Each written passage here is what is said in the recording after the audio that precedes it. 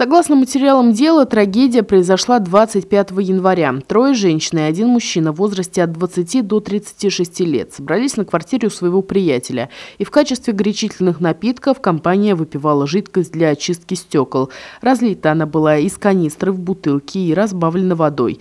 При этом в следкоме рассказывают, инициатор застолья выпил этого напитка немного, однако для его гостей доза оказалась смертельной. Буквально через несколько часов ночью 26 января от отравления скончалась 33-летняя женщина.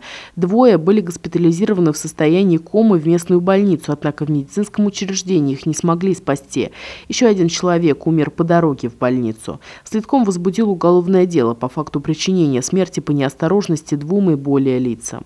Дело пока возбуждено по факту, но э, после выяснения всех обстоятельств случившегося не исключается, что инициатор – вот этого употребления э, стеклоомывающей жидкости э, может в действиях его могут быть установлены признаки состава названного преступления.